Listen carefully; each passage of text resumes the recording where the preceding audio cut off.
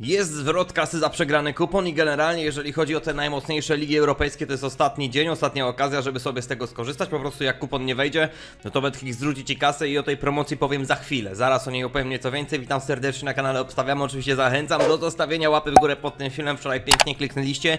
E, dziękuję, dziękuję serdecznie każdemu z osobna. To pomaga rozwijać kanał, także dzięki za łapę w górę. E, oczywiście lecimy z kuponami na dzisiaj, do których zaraz sobie przejdziemy. Ja powiem o tej promocji, odpalimy konkurs, zaproszę do grupy. Jeżeli chcesz śmigać od razu do kuponów kuponów przewijaj, nie ma najmniejszego problemu, my też do tych kuponów przejdziemy. Słuchajcie, zacznę od tej promocji, jeżeli ktoś nie ma konta w BetClicku, to jest oczywiście legalne w Polsce Bookmacher, a konto sobie założy z linku, który jest w pierwszym komentarzu pod tym filmem, użyje kodu promocyjnego obstawiamy, tak jak na tym banerku, no to może stworzyć pierwszy, obojętnie jaki kupon, za maksymalnie 228 zł. To oczywiście nie musi być taki kupon jak teraz widzicie. Gracie sobie cokolwiek chcecie, gracie za ile chcecie, bo wy też możecie zagrać za mniejszą stawkę, to może być 5 zł, 10, 50, 80, jak wam się podoba. Wchodzi, kasa jest wasza, nie trzeba nic z tym robić, nie trzeba grać dalej, można wypłacić. Jeżeli nie wejdzie, to Betclick zwróci tą kasę ze stawki minus podatek we freebecie do jednokrotnego obrotu, tylko po kursie 2,14 na całym kuponie, czyli generalnie jak sobie zestawimy te wszystkie promocje na polskim rynku, to wygląda to całkiem dobrze. Osoby zainteresowane, y, link można powiedzieć rejestracyjny znajdą w pierwszym komentarzu pod tym filmem, ale pod tym linkiem jest jeszcze fajnie punkt po punkcie wszystko wyszczególnione i opisane. Osoby zainteresowane tam odsyłam, a osoby zainteresowane kuponami zapraszam do naszej grupy na Facebooku, zapraszam na Instagrama. Na Instagramie dodatkowe kupony, których tutaj na YouTubie nie ma. Linki do grupy na Fejsie, gdzie jest ponad 100 tysięcy ludzi i do Instagrama w opisie pod tym filmem i lecimy z konkursem. Jak zawsze kasa w BetClicku do zgarnięcia. Co trzeba zrobić, żeby o nią powalczyć? Subskrybować kanał, obstawiamy. Zostawić tą łapę w górę pod tym filmem i w komentarzu typujecie dokładne wyniki minutę pierwszej bramki bramki w dzisiejszym meczu pomiędzy Udinese a Juventusem. Dopisujecie swój nick gracza z BetClicka, typujecie do 21, komentarze edytowane, dodane po tej godzinie bez niku gracza na BetClick nie biorą udziału w zawodach, czyli standard. I teraz przechodzimy do meritum tego kolejnego materiału tworzonego przy współpracy z BetClickiem, czyli oczywiście do kuponów. Na początek klasycznie kupony od osób, które regularnie typują e, duble, treble gdzieś tam single, a potem kupony za mniejsze stawki z większą ilością zdarzeń. Zaczynamy od kuponu Piotra. Mamy minimum jedno trafienie Roberta Lewandowskiego w tym ostatnim meczu w sezonie, wyjazdowym meczu z Celtą Vigo. E, z Celtą Vigo, która no, będzie biła się utrzymanie w tej ostatniej kolejce. Mają punkt przewagi nad strefą spadkową i pewnie staną na głowie, żeby tutaj z tą Barceloną, która ma klepniętego mistrza już dawno, e, no powalczyć. No oczywiście będzie to dla nich ciężki mecz, ale gdzieś tam na pewno nadzieje na utrzymanie są. To nieistotne w sumie, bo tutaj jest propozycja na to, że lewy, no można powiedzieć chyba król strzelców ligi e, hiszpańskiej w tym sezonie, strzeli minimum jednego gola. Kurs bardzo kuszący. Do tego mamy trafienie Walencji, e, czyli też ekipy, która, no słuchajcie, jeszcze nie jest pewna utrzymania. Ok, to jest niby 15 miejsce, pierwsze miejsce spadkowe to 18, ale na tym 18 miejscem to tylko dwa punkty przewagi są, więc tutaj naprawdę ta ostatnia kolejka jest turbo ciekawa. Walencja gra z Betisem, który e, tak naprawdę zapewnił sobie już kwalifikację do Ligi Europy do rundy grupowej, więc może na szczęście dla zawodników Walencji trochę odpuszczą to spotkanie. Jest propozycja na gola, czyli taki w sumie hiszpański dubelek od Piotra. Teraz mamy kupon od Jakuba. No i Jakub to jest ten gościu, który podał tutaj u nas na YouTubie 6 kuponów, 6 kuponów trafił, wszystko siadło, 100% e, dobrych wyborów mamy Kadyks z remisem. Kadyks grający na wyjeździe z Elcze, z Elcze, które już e, spadło na 100%. E, Kadyks, który też ma dwa punkty nad strefą spadkową, więc tutaj każdy jeden punkcik, każda zdobycz punktowa jest, można powiedzieć, na wagę złota, na wagę utrzymania. Zdaniem Jakuba, no właśnie to się uda i Kadyks tego meczu z Elcze, które w tym sezonie po prostu było najgorsze, no Kadyks zdaniem Jakuba tego meczu nie przegra, dorzuca nam Jakub e, rzuty rożne właśnie w tym meczu Walencji, pewnie większość z Was wie, że w tym sezonie Walencja to często równa się rzuty rożne, ale statystycznie słuchajcie. Ostatnie mecze e, Betisu. Jak wyglądały rzuty rożne u nich? 13, 8, 7, 11, 15. 3 na 5 ostatnich meczów z fajnie pokrytą linią. Raz by kornerka zabrakło, więc cyferkowo wygląda to dobrze. No i Walencja, raz było 6 kornerów, ale poza tym 9, 11, 12, 13. Więc faktycznie cyferkowo się to zgadza. To może być siódmy kupon trafiony z rzędu. Jakub aktualnie 8411 zł czystego profitu. Trzymam kciuki, żeby to szło jak najdłużej w zieleni. Dalej mamy kupon od Grzegorza. 10 podanych kuponów, 8 e, trafionych, 5166 zł czystego profitu i mamy w sumie 3 czyste zwycięstwa, słuchajcie. Y, USG, czyli tak zwany Royal Union y, z Belgii walczący z Brugią dzisiaj, z klub Bruż, e, walczący w sumie o mistrzostwo, bo jeżeli sobie zerkniecie na tą tabelę grupy mistrzowskiej, no to Antwerpia i właśnie Royal Union mają po 46 punktów, Genk zaraz za nimi 45 punktów, e, klub Bruż daleko odjechane 33 punkty, cztery drużyny w grupie mistrzowskiej, więc tutaj w sumie, no grając u siebie z najgorszym zespołem z tych czterech, powinni sobie generalnie poradzić i też no klub Bruż, e, pięć ostatnich meczów to cztery porażki, więc to nie wygląda za ciekawie. E, I tutaj zdaniem Grzegorza po prostu USG ten mecz wygrywa. Mamy zwycięstwo Juventusu.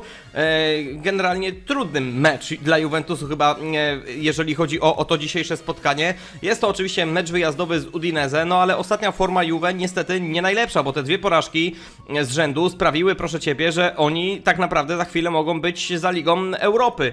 Jeżeli chodzi o Udinese, to trzy porażki z rzędu w trzech ostatnich kolejkach, więc tutaj faktycznie może troszkę nadzieja ożywać, jeżeli chodzi o ten kupon i czyste zwycięstwo Juventusu, no ale Grzegorz moim zdaniem tutaj no dosyć optymistycznie. I jest jeszcze zwycięstwo Twente, to jest oczywiście liga e, holenderska i to są e, playoffy o Ligę Konferencji. He, Twente wygrało pierwsze spotkanie z Herenven, tu jest mecz i rewanż. Jeżeli chodzi o, e, o ten to półfinał, półfinał tych rozgrywek powiedzmy o Ligę Konferencji, więc po prostu zdaniem, zdaniem Grzegorza też Twente, skoro poradzili sobie na wyjeździe, tym bardziej u siebie też ogarną. Więc coś takiego od Grzegorza mamy kupon od Kacpra, 8 podanych kuponów, 5 trafionych, 2250 zł czystego profitu i tutaj mamy po prostu zwycięstwo Bodo z Walarengą. E, dziewiąta kolejka dopiero w Norwegii. Tutaj teraz będziemy sobie to śledzić na bieżąco, bo kończą się te najlepsze europejskie ligi, więc coś takiego będziemy tutaj e, sobie śledzić. No Bodo powoli przypomina tą ekipę sprzed kilku sezonów. 9 rozegranych meczów w tym sezonie e, w lidze. 8 zwycięstw, 1 remis, 26 do 8 w golach. Oczywiście liderują już z przewagą 8 punktów i zdaniem Kacpra nic się na razie nie zmieni. Grają z Walarengą, która jest gdzieś tam w środku tabeli, na razie 13 goli strzelonych, 13 straconych, więc takie szalone mecze też rozgrywają. E, do tego mamy e, bottom to score w meczu Bragi i Porto, czyli oczywiście finał Pucharu, jeżeli chodzi o podwórko portugalskie. Dwie bardzo dobre ekipy w tym sezonie, bo Porto to wiadomo, sezon w sezon grają naprawdę wybitnie, ale Braga w tym sezonie też grała świetnie, więc tutaj Kasper proponuje BTTS-a, czyli zakład na to, że w regulaminowym czasie gry obie ekipy strzelą po minimum jednym golu. No trzymamy kciuki, za 5 słówek coś takiego ładowane. Pędzimy dalej, 7 kuponów podał Olek, 5 z nich trafił, ugrał 2355 zł. Mamy zwycięstwo Young Boysów w pucharze, słuchajcie, Szwajcarii. Ciekawy kurs, biorąc pod uwagę to, że Young Boysi, no, no tu mogą zaraz podwójną koronę sobie strzelić, bo zostali mistrzem e, Szwajcarii i mogą jeszcze teraz w finale pucharu ograć Lugano. Są zdecydowanym faworytem, to trzeba powiedzieć, mimo tego ostatniego meczu bezpośredniego przegranego, no to tam w tej lidze szwajcarskiej to już dawno, znaczy długo przed końcem było wiadome, że, że Young Boysi po prostu klepną mistrza, nie? Tutaj mamy propozycję na zwycięstwo w regulaminowym czasie gry, jeżeli chodzi właśnie o Young Boysów i mamy też rożny w meczu Udine i Juve, więc statystycznie też możemy sobie polecieć. Jeżeli chodzi o ostatnie mecze Udinese 3, 6, 8, 3 z 5 ostatnich meczów poniżej linii i dwa razy było e, powyżej, bo 10 i 11. Jeżeli chodzi o Juve wygląda to lepiej, bo tylko raz w ostatnich 5 spotkaniach poniżej linii, 7 rożnych. E, poza tym 9, 9, 10 i 20 w tym meczu z Sevillą, więc też potrafią zagrać spotkanie, gdzie, gdzie 20 rożnych jest nabitych. No coś takiego tutaj mamy zaproponowane od Olka. To też trzeba trzymać kciuki, bo 5 na 7 trafionych kuponów to jest naprawdę dobry bilans, więc e, oby, oby tak dalej, oby tak dalej. Słuchajcie, Przemek to jest jedyna z tych osób, która jeszcze nie typowała u nas na YouTubie. Yy, chciał sobie zadebiutować na koniec sezonu najlepszych europejskich lig singlem. Celta Vigo, no czyli mecz, o którym przed chwilą mówiłem, że Celta walczy o utrzymanie z Barceloną, która ma już mistrza klepniętego. Jest na to pakowane yy, równa stawka, tam coś będzie. 4000 zł, słuchajcie. 4000 zł na zwycięstwo Celty Vigo dzisiaj z Barcelonem, z Barceloną. To jest oczywiście czyste zwycięstwo, nierozbite, więc można było troszkę lepiej te cztery koła zagospodarować tutaj, ale no nie będziemy się e, wpieprzać. Jest propozycja na singla, mocnego singla, ostatni mecz w tym sezonie, ostatnia szansa dla Celty Vigo, żeby na przyszły sezon tak naprawdę się utrzymać. No wiecie, no tu sprawa wygląda tak, że jeżeli Valladolid nie zdobędzie punktów z Hetafe, no to tam jest ok, nie? Bo oni cały czas ten jeden punkcik e, przewagi będą mieli, ale pewnie tutaj e, chodzi o to, no, no żeby nie patrzeć na przeciwników, żeby już tym zwycięstwem bo jeżeli wygrają z Barceloną, jeżeli Celta wygra z Barceloną, to mają zapewnione już utrzymanie na 100%, nieważne co w innych meczach będzie się działo, nie? No odważnie, zobaczymy, trzymamy kciuki i jest jeszcze kupon od Karola, 5 podanych, 4 trafione.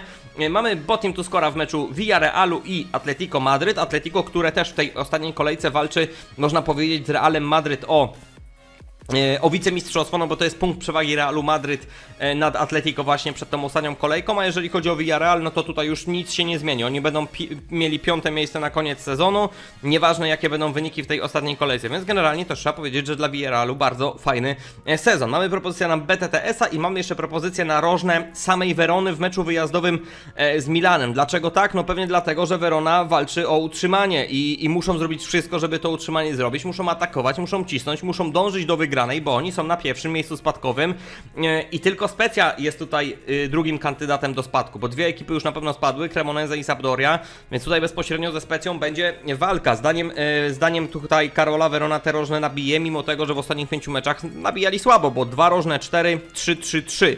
Z Milanem może być ciężko o ale faktycznie no jest tutaj presja na plecach zawodników, żeby powalczyć o to utrzymanie. E, to są kupony od osób, które regularnie podają i teraz kupony jeszcze oczywiście za mniejszą stawkę, z większą ilością zdarzeń, żeby ktoś, kto lubi takie kupony mógł sobie rzucić teraz okiem jak to wygląda, jak się prezentuje też jakiś kupon za 15, 20 czy 50 zł. Nie, przypis nie, nie przypisujemy tego imiennie, nie omawiamy punkt po punkcie, jak ktoś chce to sobie klika spację i na spokojnie sprawdza co tutaj jest grane. Na dzisiaj to było na tyle. Ja serdecznie dziękuję, że oglądaliście do samego końca. Bardzo mi miło, że wytrwaliście. Dziękuję za te wszystkie łapy w górę. Dziękuję za subskrypcję. Oczywiście przypominam, te kupony mogą być przegrane. To, że Jakub trafił 6 na 6, to nie znaczy, że akurat dzisiaj trafi 7. Oczywiście wszyscy byśmy chcieli i trzymamy za to kciuki, mam nadzieję. Ale gwarancji nikt nie daje. Pamiętajcie o tym, że tu żadnych gwarancji nigdy nie było, nie ma i nie będzie. Jeszcze raz na sam koniec zapraszam do subskrypcji kanału, zapraszam do naszych grup. Wszystkie linki w opisie pod tym filmem. Zachęcam do brania udziału w konkursie tutaj na filmie. 11.30 dzisiaj live'ik. Na kanale obstawiamy trochę gadżetów z Italii rozdamy, także wpadajcie, zapraszam serdecznie. Piąteczka przybijana, trzymajcie się, nara!